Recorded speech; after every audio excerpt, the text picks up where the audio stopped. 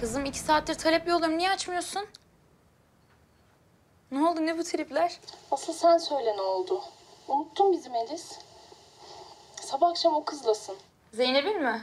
Kıskandın mı yoksa? Hmm, neyini kıskanacağım onun? Arkadaşlığımızı gözden geçirdim ama haberin olsun. Benim onunla ne işim olur ya? Kerem bir oyun oynayacakmış ona. Benden bir yardım istedi o kadar. Gerçekten mi? Hı hı. Vay be. Kızım senin de işlerin hiç belli olmuyor ha. E ne oldu hallettiniz mi peki? Tabii ki.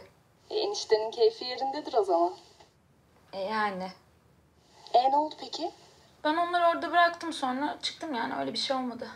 Nasıl yani ikisini yalnız mı bıraktın? Üf, saçmalama Dilan. Yanlarında cam vardı tabii ki. Ha. Dedim ne oluyor pardon yani.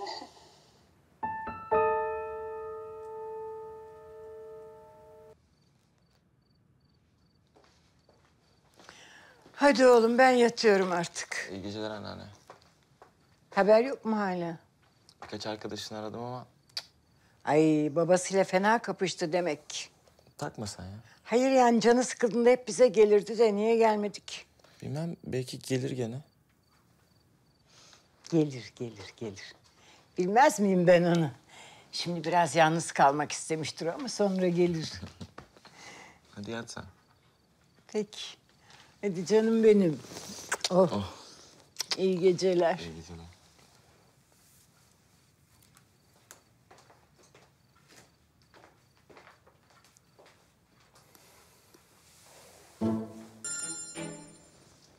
Alo Ufuk. Ya aramışsın kaç defa. Kusura bakma. Sessizdeydi telefon. Kerem'i soracaktım da. Akşamüstü arabayı aldı gitti. Onu biliyorum bir tek. Nereye gitti biliyor musun? Vallahi bilmiyorum. Ama hiç iyi değildi durumu. Çok kızgındı yani. Sağ ol tamam. İşte kaldık. Yavaş ya ayağım. Ha, çok rahatız burada. Ne oldu Kerem Sayar? Ha, sen orada rahat rahat otur ben burada böyle...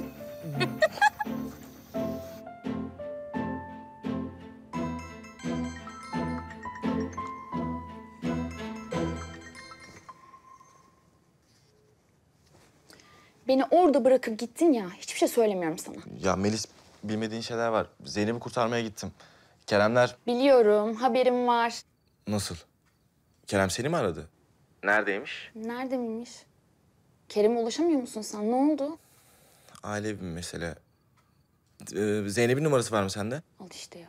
Ne alaka? Ya, var mı yok mu sen bana onu söyle. Yok. Bu ne ya? Ne oluyor? Melis.